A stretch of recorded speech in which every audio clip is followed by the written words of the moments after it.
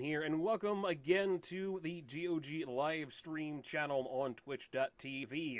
Today I'm going to be talking to Mark Venturelli, if I didn't completely ruin your name, from Behold Studios about their game Chroma Squad. Hello, Mark. Hello, my name is Nat Bruns, and uh, thanks for inviting me. Really happy to be here. So, why don't you tell us a little bit about who you are and what it is you do at Behold Studios? I'm the game designer of Chroma Squad. Uh, I've joined Behold Studios mid project after like uh, five months after the Kickstarter. I've been with them for over a year and a half uh, designing this game. So that's pretty much what I do every day, except when I'm doing streamings. That's what I'm doing now. All right, so I'm going to bring the game up here so everybody can see it. What exactly is Chroma Squad? So Chroma Squad is a tactical RPG, right? That's what it says uh, on the logo. But uh, it's basically a game about managing Japanese superheroes like Power Rangers, Changeman, uh, Flashman, stuff like that. So you guys, you are five guys who are or girls or robots or beavers, it's your choice, uh, who are stuntman at a at another not so cool hero show, and you decide to open up your own indie studio. So uh, Chroma Squad is the story of these five stuntmen as they go from indies to riches to other stuff that I won't spoil. It's definitely an interesting game because it's one part management and one part squad-based, uh, turn-based tactics game, and another part RPG. So it's a lot of different kind of game concepts thrown into one particular title. yeah, Chroma Squad is not like a it's not a very run-of-the-mill idea for a game, not at all. But uh, yeah, the the management aspects they're very light, so uh, don't go in expecting something like indie dev story or game dev story or tycoon or something like that. They're very light. Uh, the game is mostly a tactical RPG. It's mostly about the, the turn-based battles and outfitting your your party of five or maybe more, who knows, uh, with the right gear and stuff like that. So uh, yeah, even though it sounds like a lot, it's it's a streamlined game. You you definitely won't be overwhelmed by the amount of thing that go goes in there. Uh, if you don't like management games, you should give Chroma Squad a try because they're light management games. But if you go into the game like uh, expecting a management game, uh, you're going to be disappointed. That's not what the game is about. It's mostly a tactical RPG. So I know that you joined the game about halfway through, but do you know why they decided to be so light on the management side? Considering the whole story of the game that you kind of break off from one company and create your own company, you would think just by that concept it would be more kind of like a tycoon sort of a game instead of as focused on the tactical elements. Uh, actually, I was there for that. Uh, when we did the Kickstarter, uh, the original pitch and the original idea in our head was going to be maybe leaning more on the management side and less on the RPG. Uh, but you know, game development is one of those things where the game also has a voice of its own, and uh, I think the art of making a good game is like hearing it. So uh, as we made Chroma Squad, it became clear that uh, if we were to put a bunch of more complex management mechanics, which the game had at one point, uh, it was just slow the game down and not be as fun and as the, the main core fun aspects of Chroma Squad they would not be there if we had not taken that decision. But uh, that, that's also how we developed the game with our Kickstarter backers, right? They have been playing the game with us and sharing their ideas with us all the way through. So uh, we're very confident that we we made the game better by it because we had the players, the backers giving us feedback, and we could actually see what worked and what didn't. I think it was for the benefit of the game in the end. But the fantasy is still there, which is the important part. Like uh, you feel like you're improving your studio, you're buying cameras. I see you bought in your studio right now, like you bought cameras, you bought microphones, or upgrading your studio. You have to take care of marketing. The right. fantasy is there, but uh, it's not.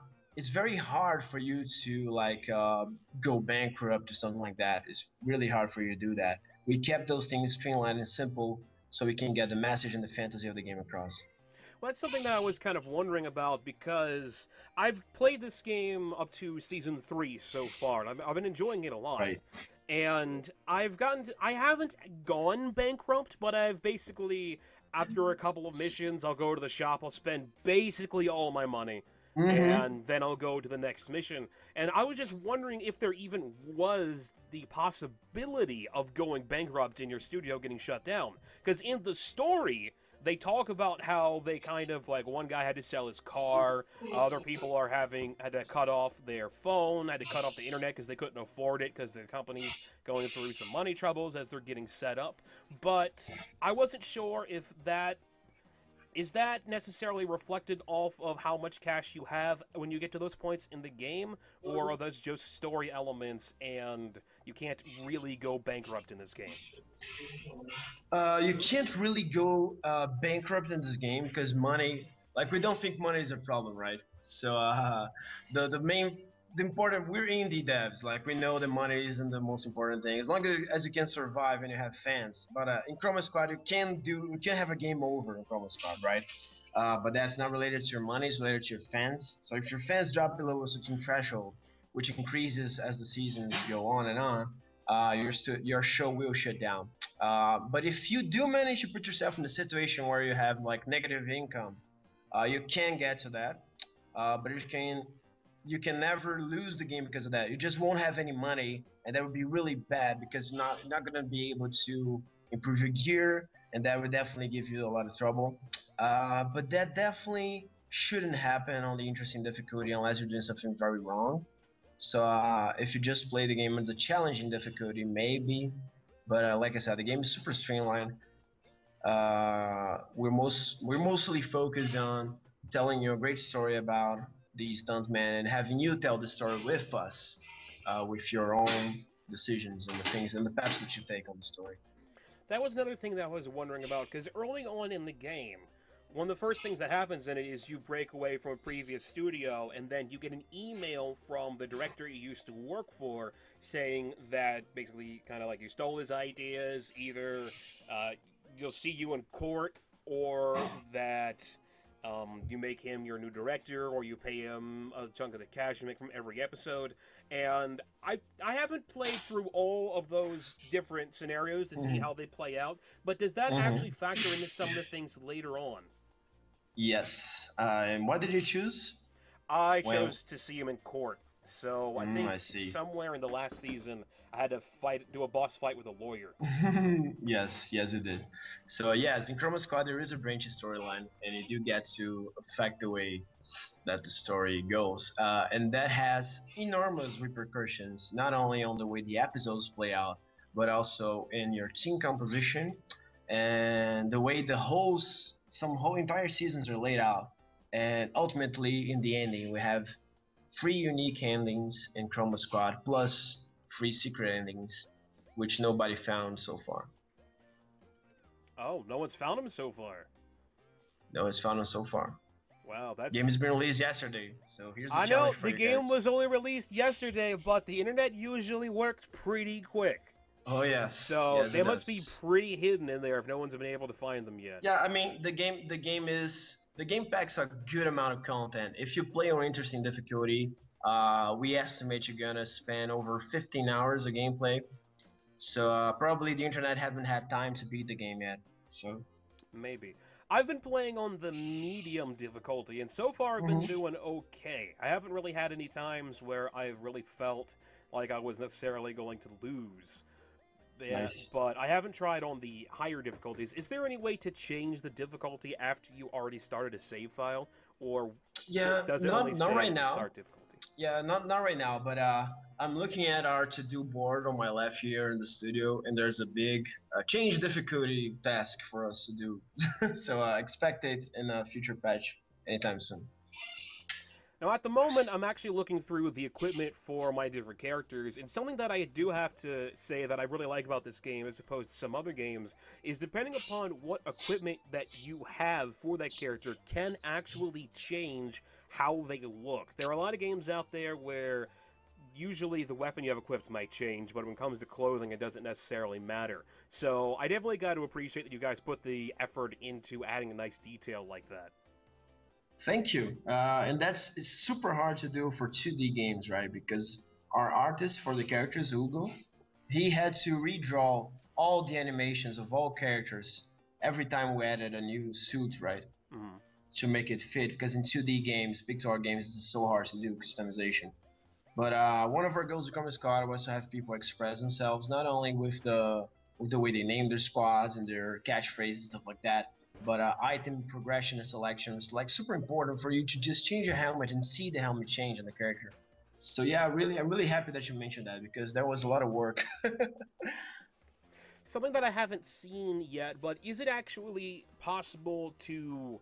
I know at the beginning of the game you can pick who you want in your squad. If you want guys, if you want girls, if you want a robot, and or for some reason a beaver. I'm not sure Exactly. why, but you can. Why wouldn't you want a beaver? That's a very I good always question. pick the beaver. That's a very. I almost always pick the beaver too, but I Mr. felt like picking always the uh, picking the robot this time. But is there a way to to kind of get more people, or to fire and hire different people, or are the people that you pick at the start of the game the ones you keep for the entire game? Well, I can't spoil how your squad is going to change, uh, but mostly this decision is definitive. We even warn you that about that when you finish your selection, that there's no turning back. Uh, but yeah, we're definitely we're definitely excited about doing things for Chroma Squad. Or like after you after you finish the game. Right now, you don't you don't actually unlock any new actors stuff that, but that's on the plans. Well, right now, what you see is what you get. All right. So I guess it's about time we actually get into a bit of the game game part here. Woohoo. Apparently, I didn't finish the season finale for season two yet, so we're going to start at the end, and we're going to Let's be going up end. against some sort of fish lady, which Yes, it's a reverse mermaid. I have to say I love the design of some of the boss. That's something I wanted to ask you. What was kind of your process when it came Fish to maid. creating the bosses because the game's kind of got this monster of the week theme when it comes to the bosses Uh-huh. and some of them are kind of well they're they're definitely different i can say that there, there was a point where I, I fought a box with boxing gloves and then yes, i fought the a boxing barrel box. so what, what's your process when it comes to creating uh, so many different and varied bosses Well, it was two things that inspired us. Like first, first we were making an, a story about an indie recording studio, right? So for the first seasons, you're very indie, you're super poor. So uh, the boxing box was the kind of thing that you can actually afford to do, right? Uh, but the other influence for that was actual Sentai shows, tokusatsus, because uh, these shows have all the craziest monsters, like you have no idea.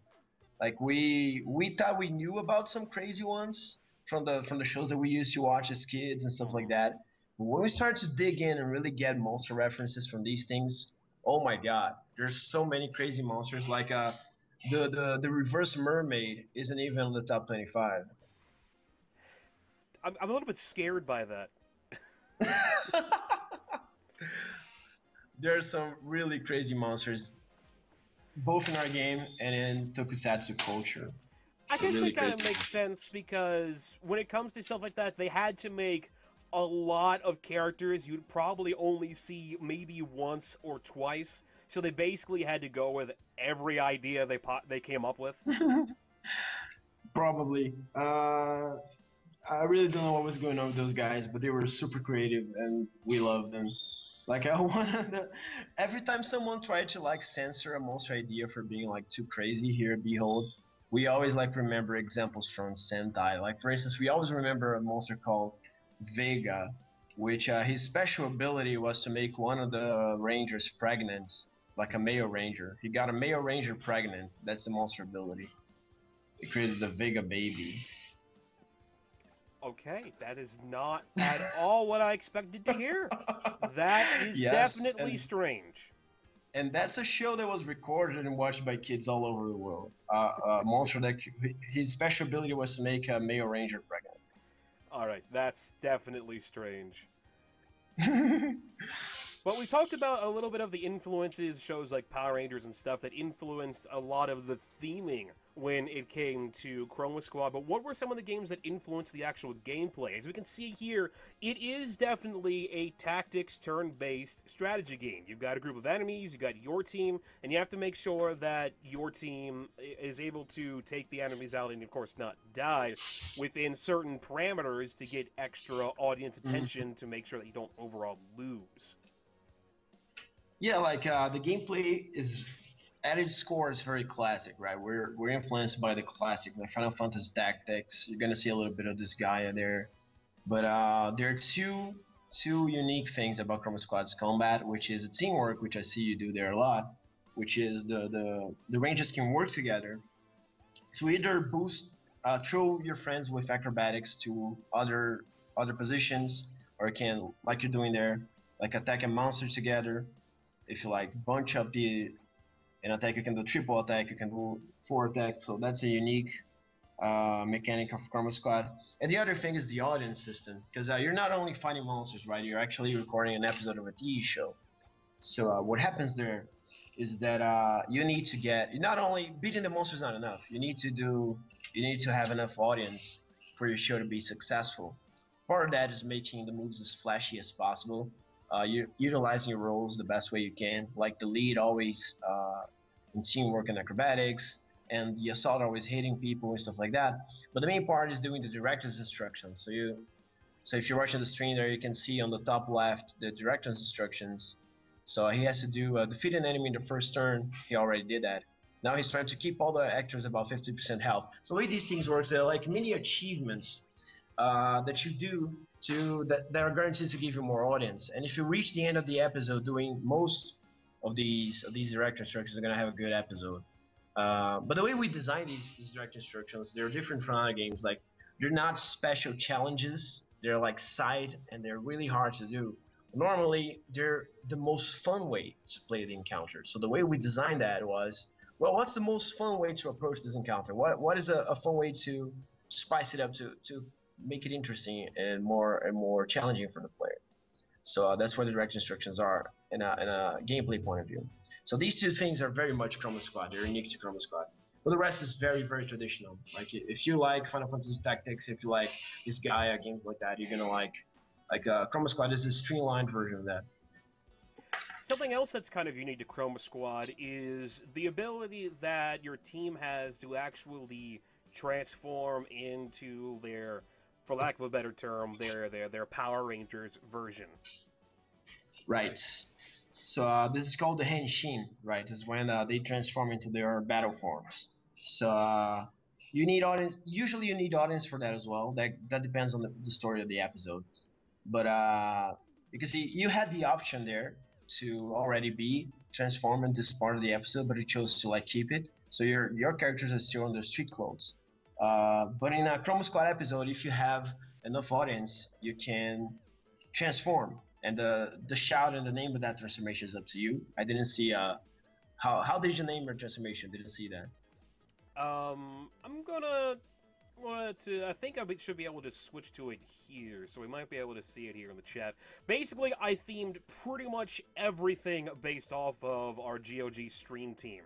So all the characters are named after the different mm-hmm. streamers and the company is GOG Company, and all that kind of lovely stuff. So, I love that you can customize it that much. That there's the stock stuff there for Chroma Squad, but you can really kind of, you can really just create your own team. Exactly. So uh, yeah, the the main the main thing that we wanted to allow players to do was to not we didn't only want to tell a story. We wanted players to tell the story with us. So. Uh, and, and, fans of Sentai and Toku culture in general, they're so creative. Like our backers had so many ideas about how they're going to do their own series and their uniforms and their special powers and their shouts. So we absolutely had to allow you to express yourself like this in the game. And there's so many cool immersion moments that that came out of that. Like for instance, one guy here in the studio was playing, and he he called his rangers like the Rice Rangers, and his transformation shout was eats rice. So uh, at a point of the dialogue, someone was saying, "I tried to transform, and it worked. And uh, what the character actually said was, "Well, I tried to eat rice and it worked." and then the second character right after that said, "Wow, that's too much to digest." and that was totally like it was a total accident because of the way that the, the guy customized his team, right? And this, there's so much value in that. Like we're definitely gonna keep doing this in future games for Behold Studios because that that's that's a load of fun. Well, when it comes to transforming, there's actually a, a, lot of strategy deciding when to transform because while your characters exactly. are in their street clothes, they can't use their abilities. But when you transform, they get all their health back. Plus, it will also rearrange the team here. Exactly. So that's that maybe is the secret reason about why the Rangers fight in the street clothes instead of just transforming. There you go. Darren Freeze the way to be. right. Yeah, now we got nice. all of our lovely abilities back. So nice. yeah, I, I, definitely have to say, even though this game does take inspiration from a lot of things, it's got a lot of originality to it, and that's something that I really, really like Thank about you. Chroma Squad. Now, I've been kind of following this game not super closely, but kind of been following it since you had your Kickstarter. And how was your experience with Kickstarter? Did, did it go? I know you got it funded, but did you have any any trouble or any worries when it came to dealing with Kickstarter? Uh, yeah, I, wasn't here with Behold uh, for the Kickstarter, but I was around. I was nearby. It's a it's a small industry here in Brazil. Uh, before I can gather, it was as all Kickstarters are very very like a lot of work, right?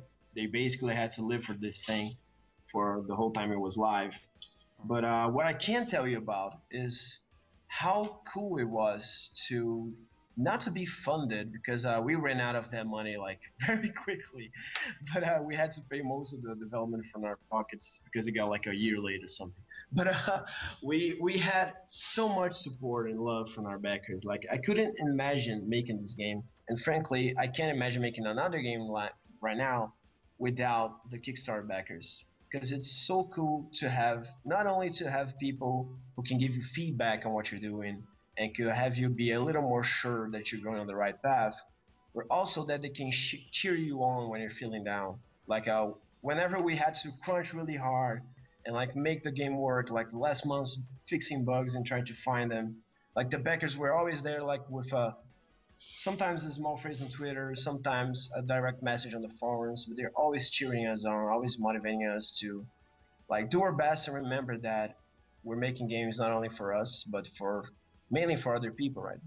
So uh, that's certainly the best takeaway from Kickstarter for for Behold, and uh, something that we plan to keep on keep on doing. So, how many people work there at Behold Studios? Uh, that's a complicated question actually because uh, right now we have two teams. But uh, Behold Studios, when they started Chroma Squad, they were originally like six guys, right? Mm-hmm. Uh, but in the middle of the of the way, we we followed another great, great, great company from Brazil called Otus, and they're here with us. So uh, right now, Behold has about. Bruno, quanta gente tem na Behold? Uns 13? We just asked someone here. Uh, nós somos quantos? 13? É, quantos? About about 14. We're 14, I guess. So many people, it's hard to count. For for indie dev, there is that 15 people is a crowd, but uh, yeah, Behold is 15. Does having that many people ever end up being a hindrance on the project? Do you think, or do you guys really need feel like you need every single one of those people on the team? Well, we need every one of those people because we love each other. Each other. so uh, we we really want them to be here. But uh, the yeah, 15 people on a single project, I don't think that's that's a good thing for indie games. So we don't do that. Uh, most of our we're we're working on multiple projects at Behold, but uh, we can't we can't announce yet what that is. So not only did you guys go through Kickstarter, you also had a bit of an early access thing as well, I believe, where people got the or mm-hmm. it was mm-hmm. either it was either early access or it was your backers were able to, to check the game out early. I don't remember which. But Yeah, it was the backers, but we had a Slacker backer option on our website. Right. So How how did that go? Did that you guys really feel that that was the best option to go with Chroma Squad? I think it was. I really think it was because, uh, like I told you, the, the having people along the way is certainly the, the smarter way to develop video games. Like uh, we're making, uh, like I said, we have two teams here, and uh, the other team is doing something that we can't talk about right now. And while that that has its its cool parts, I would much rather maybe in the future we, we, we will be in that point that everything we do we have our backers and and super fans all along the way with us because that's super cool, right? Like uh, with Chroma Squad, the game definitely benefit from that, from having people able to play early and tell us early what they like and what they don't like about it. So Chroma Squad is certainly a much, much, much better game than we than we would be able to do on our own. Do you guys? Does Behold Studios have much of a backlog when it comes to its games, or was Chroma Squad the first thing that you guys made? Together? No, we did Knights of Pen and Paper. Uh, oh, actually, Behold has been around. a Behold game. Yeah, that's a Behold Studios game. Uh, actually, Behold has been around for quite a while. Uh, I think it's one of the oldest active uh, video games video game companies here in Brazil. Uh, they've been around for quite a while. Like they ship a lot of games on mobile and stuff like that. None of them was really really successful. The company even like closed down for a while. The guys were working on a public library for, for months while they're developing Knights of Pen and Paper. But then Knights of Pen Paper was really, really, really successful. So Behold Studio like rose like a phoenix, right? And uh, and then came Chroma Squad. So that's good to hear. That oh man, I didn't realize oh, that that would cause it to attack my own team. Yes, that's okay. how Charm works. Watch out. It you have like two turns left oh, to finish up this fight. Okay, it, it, threw some regeneration crap at me, so that's going to be a bit of a problem. I think if I stun it, you can't stun. Yeah, like bosses can be yeah bosses can be stunned, but they can be dazed, which is what you did there. Uh, when you daze a boss, uh, the boss cannot dodge, the boss cannot counter, and you have an extra chance to dodge his or her attacks. So uh, what I don't. I, there you go. I'm trying so, to just, uh, just position so that the next turn I can pull off the amazing finishing move. But I got to be careful. Yeah, but, so yeah be careful. Yeah, be careful to not do it too early because just just like in Power Rangers, uh, you have to finish. If you finish the, the boss with a special finishing move, you get a lot more audience, right? It's the right way to to film the episode. But uh, you can have. We give you all the freedom you can do the episodes all the way you want. So if you want to just use the finishing move the first turn, you can. Uh, the difference is that there you go. There's a finish it feedback. So yeah, I gotta wait till that next turn though. Yeah, next turn you can like use all your guys. Watch out for not not corner her, so you won't have space to finish her. So uh, if you do the finishing move early, you can absolutely win the fight, but you're gonna get very little audience, which means your studio won't be that successful. Your management side you want you you're gonna have less fans. Oh, you got charmed. You're gonna yeah. wait for that too. For that. I'm not going to be able to get both everyone. these directors' instructions, but I think I'm gonna, I'll be able to take it out with the finishing move. Yeah. So something I've been wondering is, is there a way to replay previous episodes? What I've seen so far, there doesn't seem to be that option. So if you don't do everything correctly the first time you play through it, and you want to get all those director's instructions, it seems like the only way would be maybe to pause and restart that mission all over again. Yes, yes. Like uh, you, you can replay the episodes. Once the episodes are recorded, they're they're going to be broadcasted, and there's no turning back. So, uh, but the director instructions they're only important as far as audience goes, because I. See that if you finish the monster right now, you're probably gonna get the maximum audience for that episode. Let's see that happen. There sure, goes the finishing move. Insomnia Sail. the GOG Insomnia Sail. I love that. It's the greatest finishing move ever. There you go. So you but, probably got maximum audience, even though you missed one, because you did all the other ones, and you fought well and used teamwork and used acrobatics. So like I said, the game, especially on the middle and easiest difficulty, the game is forgiving. Like uh, we didn't want to we wanted to make a frictionless experience. Like if you, you don't have to get everything absolutely right to to have a proper experience on Chroma Squad. Oh, there we have the mecha fights. Here we got the mecha fights. Now, There something I wanted to ask you specifically about the mecha fights is the mecha fights are almost a completely different kind of game from the rest of the game. Yes. They, it's sort of like a fighting game, not quite, but it's sort of like a fighting game. Why did you guys decide to break them up and make them so different instead of keeping the mecha fights as still you, the turn-based strategy? That's an interesting question because uh, that was one of my major responsibilities in the project, the mecha fight, and um, really, I really think we did a cool thing with that.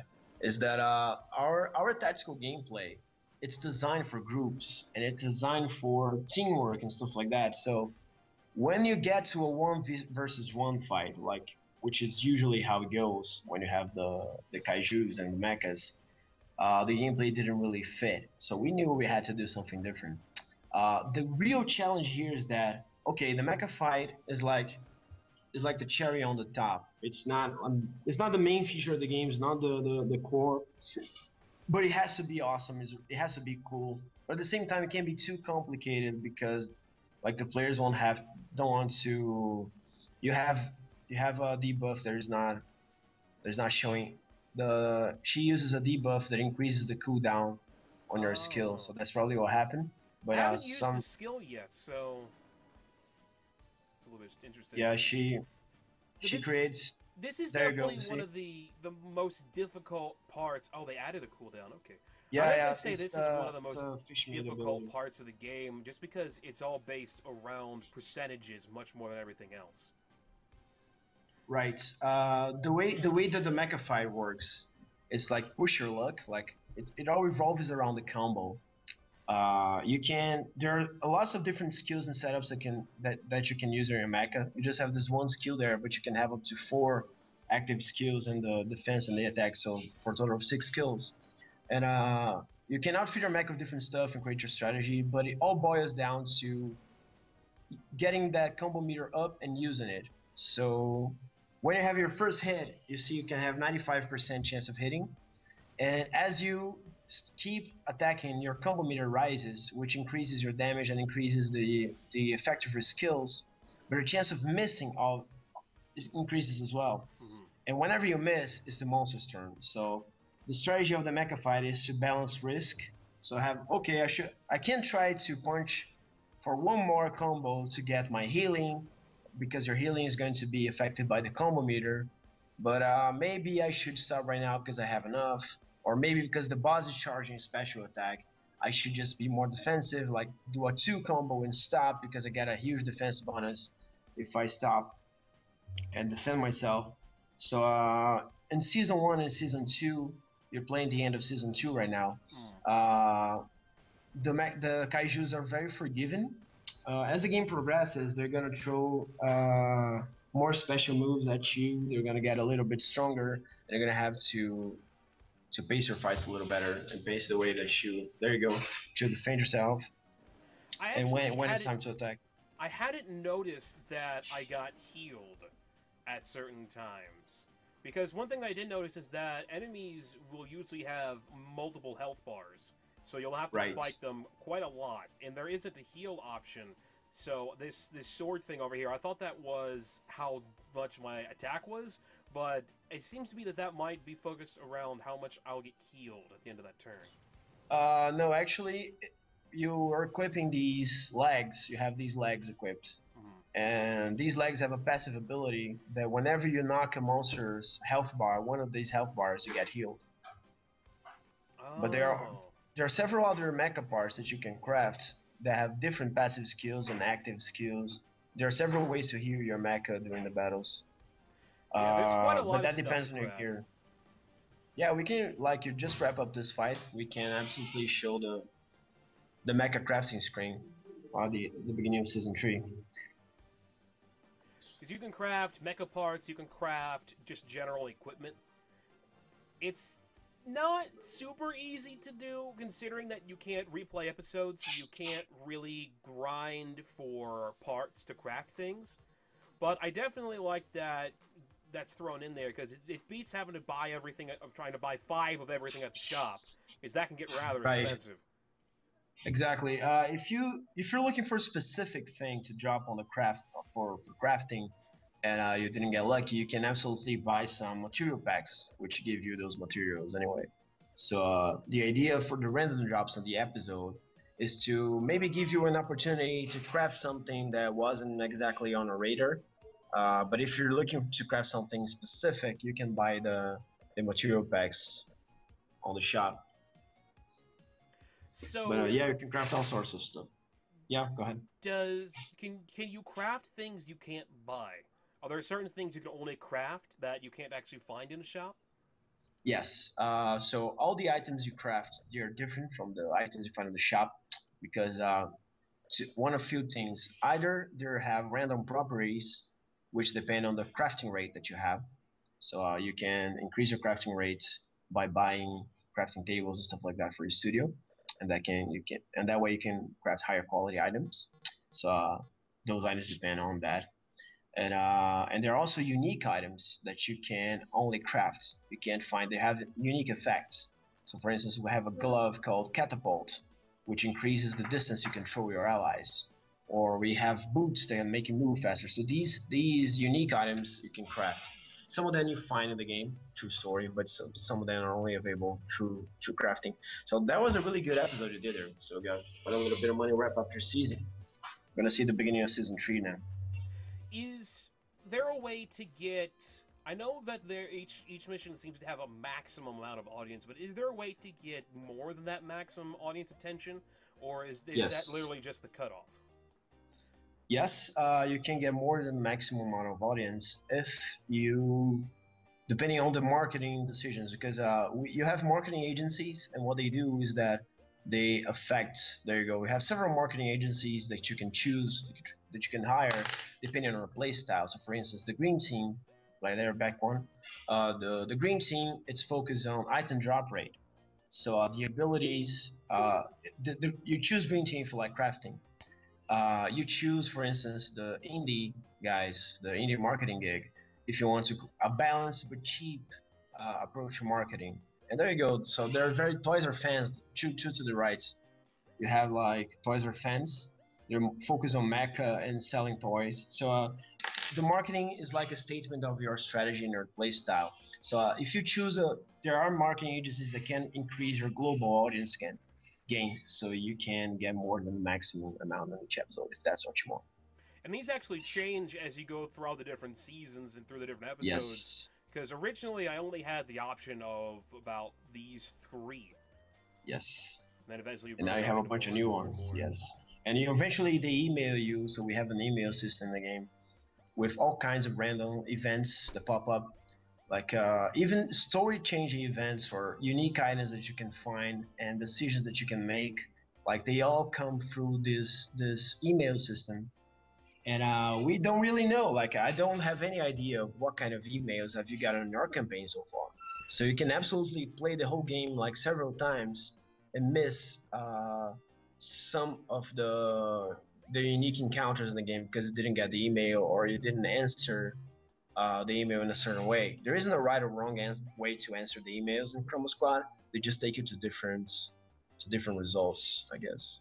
Well, one of the things that just happened at the end of that episode is I got a audience booster, which mm-hmm. was actually yes, something did. that I got in an email earlier. Exactly. I don't. It's one of these. I don't necessarily know which one it is. But he he's emailing again right now. There you go. Sup Gaga here. So that email there. Send a reply. And so they're they're definitely. So we got fans increased in. I, I definitely really like that. There's all these different things thrown in the game, so that every time you play the game, even though some of it will be similar, a lot of it will be different. Yes, like uh, one of the super cool things that happened during the, the beta testing was that uh, we had backers like email us and ask, hey, we reached the rider episodes stretch goal. I didn't find any riders. And then we said, oh, well, uh, this branch of the story that you are probably didn't have the rider. And the guy then, did I branch the story? When did that happen? so the, the cool, we, we really like this kind of thing that two people can play the game and they can talk to each other about it and what they did and what happened. And suddenly they realized that they had completely different, like they had events that the other person is not even remotely aware of. And that, that for me is a really cool experience because it creates these moments outside the game that you that you can talk to people. And of course, it, it increases replayability. So if you finish Chroma Squad on one difficulty, you see one of the three endings, and you see one path of the story. So if you want to play the game again, maybe boost up the difficulty, something like that. It's gonna be a cool experience still because there's a lot of things that you missed. Do you have any idea how many random events are in the game? Are there like a couple Uh? I can open the project right now and tell you. I estimate there's uh, about 50-ish, 70-ish, but probably more. That's a lot. So that's really cool to So, hear yeah. that the game has so much replayability, which is not necessarily something that you would expect from a story-driven tactical RPG. Right. So yeah, we we did a lot of stuff for this game.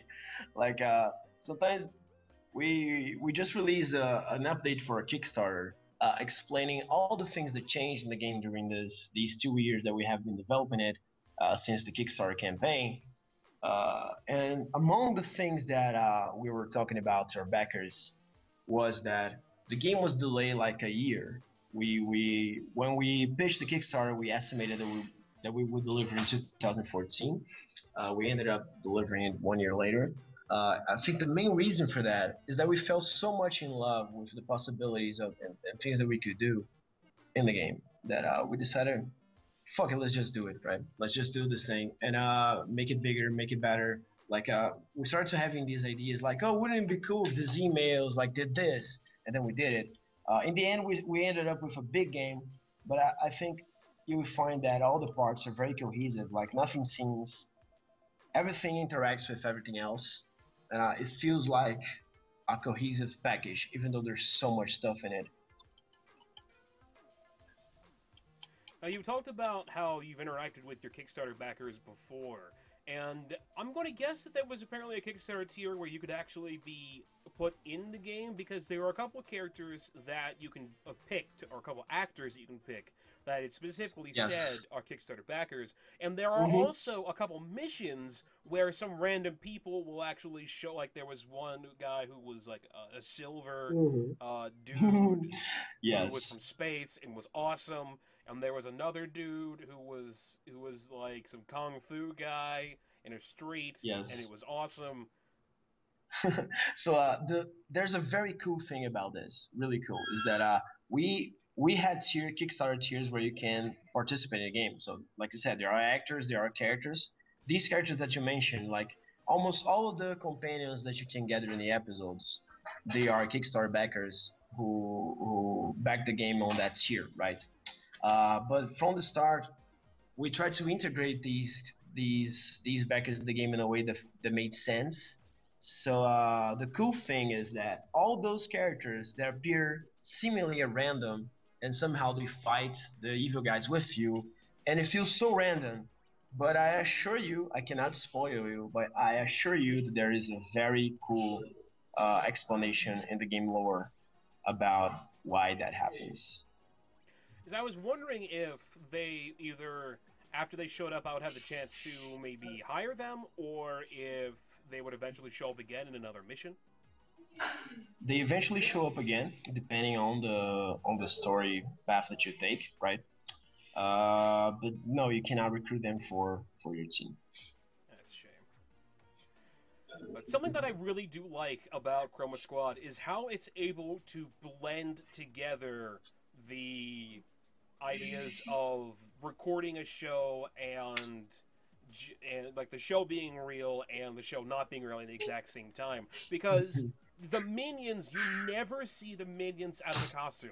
You and there's no way Yes. to know whether or not you're fighting the same guys. They don't go into that.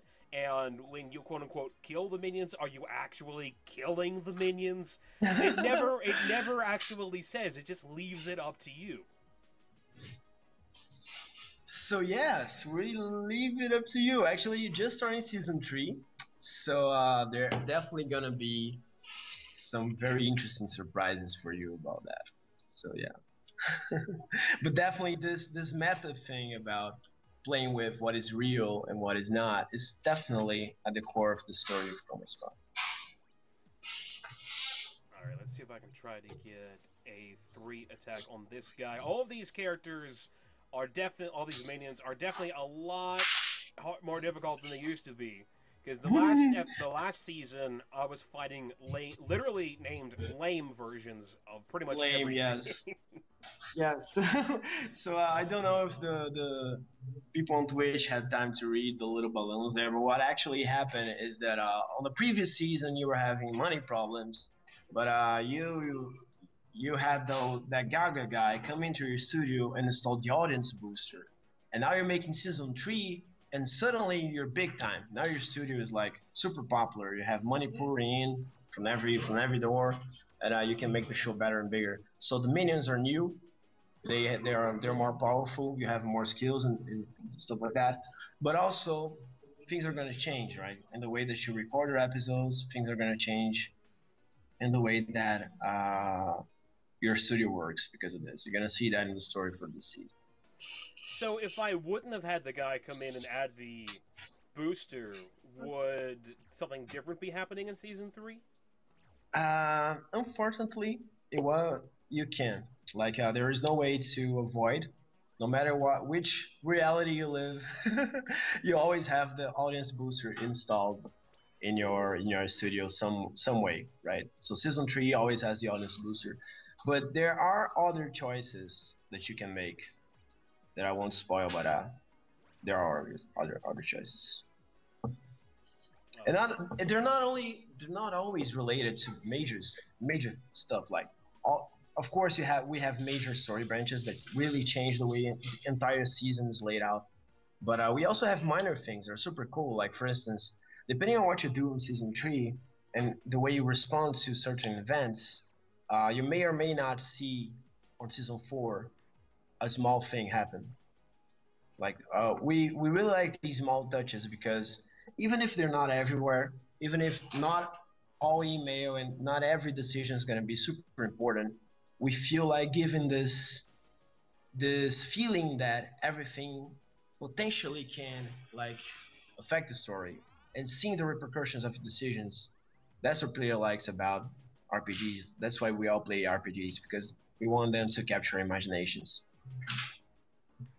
So we're getting, it's about 147 right now, so I'm going to open up the interview a little bit to chat. So if anybody in chat has any questions that you would like to ask Mark, feel free to put those in chat, and either he and or I will see them, and if I see them, I'll relate them to him, and if he sees them, he'll hopefully just flat out answer them.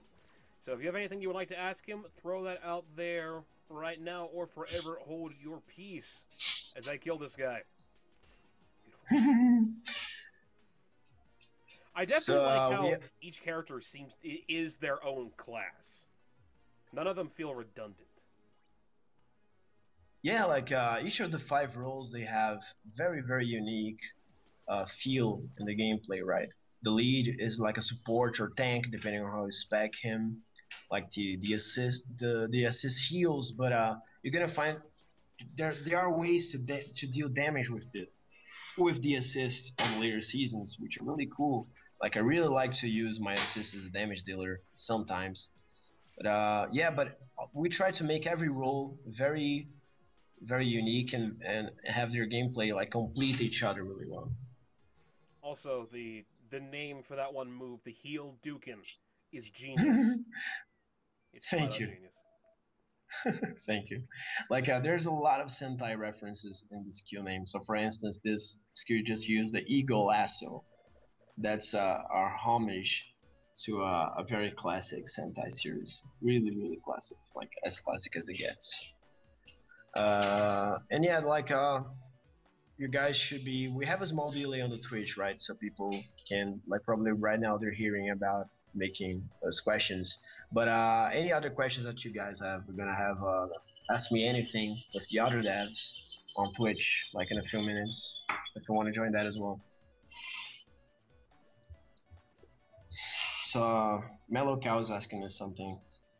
Yes, he's asking. This game has has an in-depth story. And uh, it really you can't. Yeah, we really focus a lot on story. Like uh, you, we not only have an in-depth story, but we also have uh, branching stories. So you get to make decisions in the game. They affect the way that your story plays out, and uh, you can have three different endings depending on how your story played out. Uh, it's going to affect which companions join or not your team.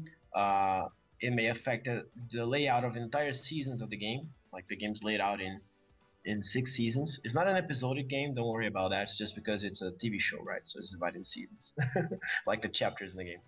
So uh, it can change the, the layout of entire chapters in the game, and uh, and we also affect the secret endings that you can find that no one found as of now. So the game has been out since yesterday, and people have found out that those even exist. So there's a challenge for you, internet. How many seasons are there overall? Right now, I'm on season three. Yeah, there are six seasons of the game. Do you guys have any No, plans season- to add more onto the game later on if there's that much interest in it? Yeah, if there's enough interest, I'm definitely gonna keep supporting the game. Like, uh, there's so much opportunity to make stuff in the in this in the Chroma Squad universe. Uh, we probably won't add seasons because we think the story and uh, and the gameplay of Chroma Squad wraps up really well. Uh, what we're probably gonna end up doing if we're gonna do more content is find out, is figure out a way to do some sort of new game plus and then add standalone campaigns and episodes to it. But uh, that's still that's still depending on how well the game is received. Like I said, the game was out yesterday, uh, so still waiting on reviews and stuff like that and sales and see how well people like our game. So let's find that out together. Does it so far? Do you has, does it seem to be doing well? It, it really does. It really does. Like uh, so far we have been receiving lots and lots of love. Really more than we expected. Uh, like smaller reviews came out, like none of the big shots. Uh, but uh, the smaller reviews so far have been full of love, very positive. They're pointing issues that are all patchable. So so far we haven't received criticism that is not something that we can fix. So this makes me very happy because I definitely plan on fixing them. That's definitely good. You never want to hear back a problem that's like, well, we don't like this core aspect of the game that it's entirely Exactly. around." exactly. But so far there have been minor minor things that we can definitely change in and improve. So it's been it's been a good ride. Oh man, this plant guy's hard. You wouldn't think it would be Yeah, the man, plant season guy three. that would be difficult. yeah, so uh, season one and two, they are kind of introdu- an introduction to the game. They're shorter. There are two short seasons, season one and two, and uh, the gameplay is simple. Like the monsters have less skills, and uh, you have less skills and less things to worry about in all aspects of the game. Like from season three onwards, the game gets much more complex and frankly much more interesting. I'm definitely feeling it here.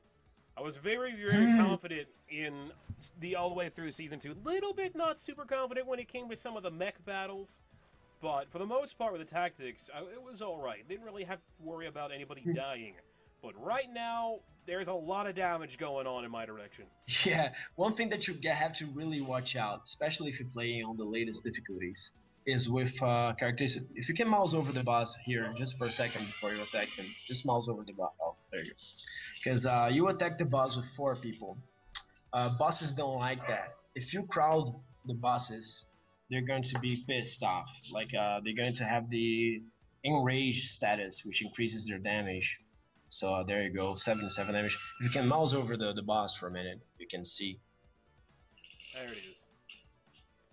Oh, I didn't notice he's got all those extra stats. Because what I was, Yeah, my yeah. thought was, if I surround him, then you know he can't get away. So like people will be near him for the next turn, and I can do another big, uh, Yeah, another I mean, just team attack. you can see that if you put the mouse in the base, the tile where the monster is, you can see a little, like a little sheet, and you can uh, you can see all the little icons there.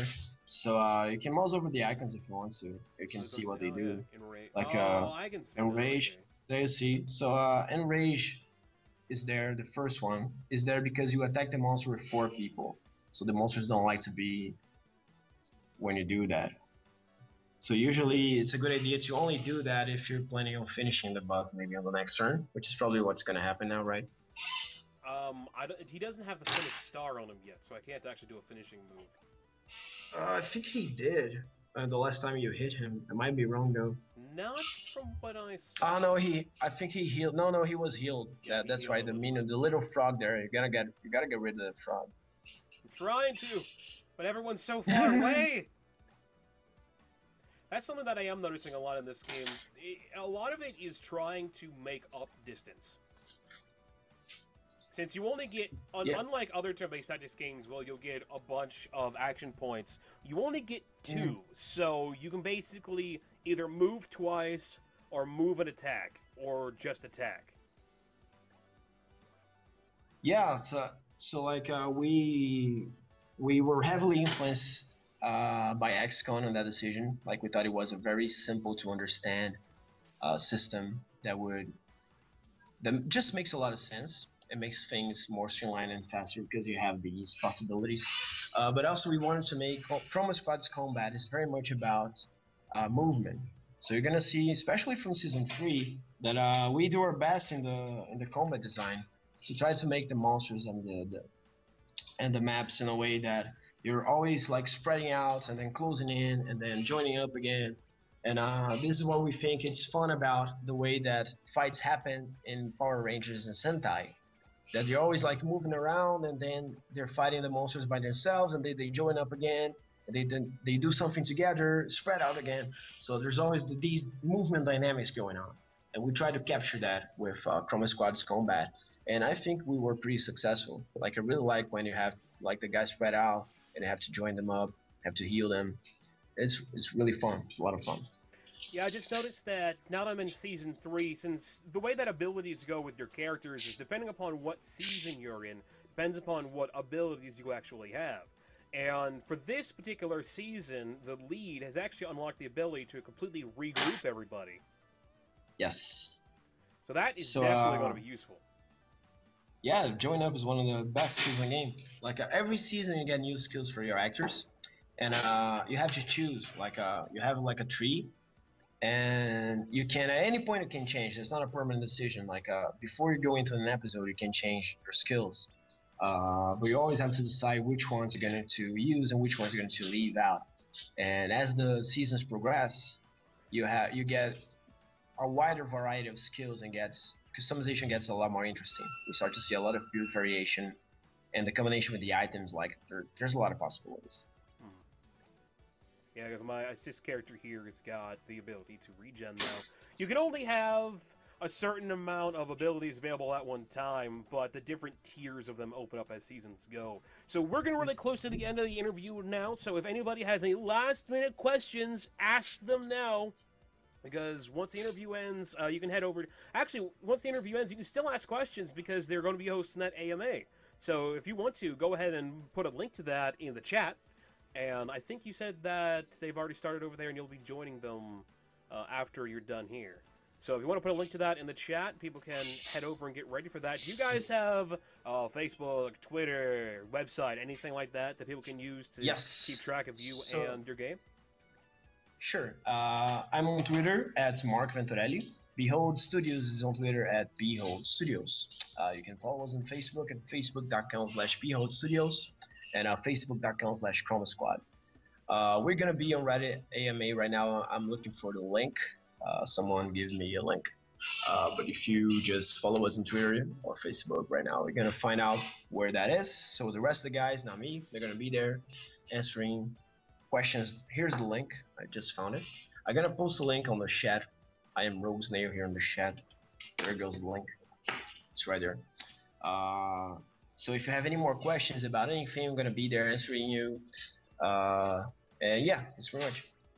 Yeah, and any of those of you in chat who are still interested in seeing more of this game, I'm going to be playing this for another hour, so if you're interested in that, feel free to stay here on GOG.com. Thank you very much, Mark, for talking to me today. I really do appreciate it. Chroma Squad is a great game. I really, really have enjoyed my time with it so far. Something I haven't talked about yet is the music, and the music in this game just fits it perfectly. It's it's it's it's, all around a solid a solid game. Oh, wow. Yeah, thank you. Thank you very much. Like, uh, it's really good to hear this kind of thing. I really agree about the music. Like, I'm really proud of our of our music guys, Washington Rake and Rafael Miller. They really did an amazing job on that. And uh, yeah, thank you very much for for your invite. This was a lot more fun than I thought it would be. so, yeah, thanks.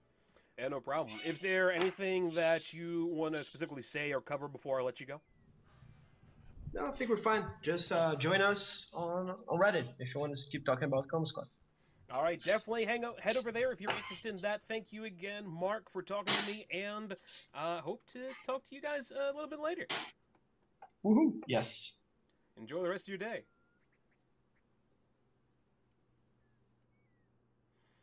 All right, ladies and gentlemen, that was Mark from Behold Studios talking about his game Chroma Squad.